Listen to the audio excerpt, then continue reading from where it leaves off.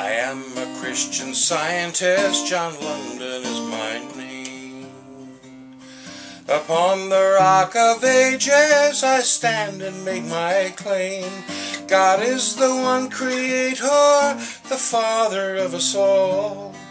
He is the world's foundation and giver of the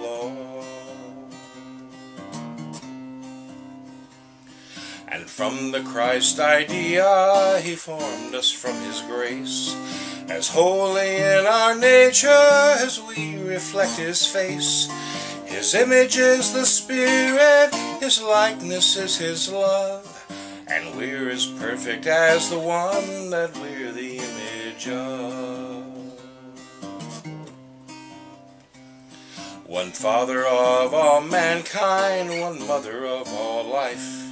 Divine ideas unfolding, we are the Spirit's bride.